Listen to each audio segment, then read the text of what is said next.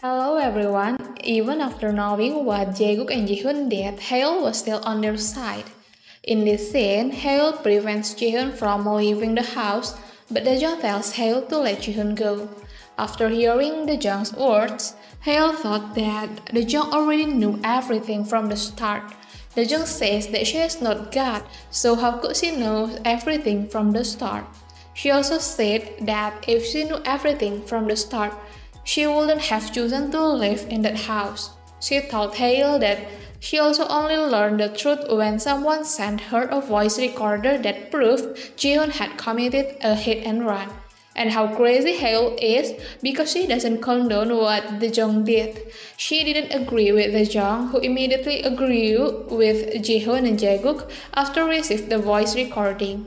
According to her, Dajong could take another method and discuss this issue in a good way. How crazy what Haeil said to Dajong. Dajong also said that she couldn't possibly remain silent when she found out about the person who killed her daughter and the person who was trying to cover up this sin.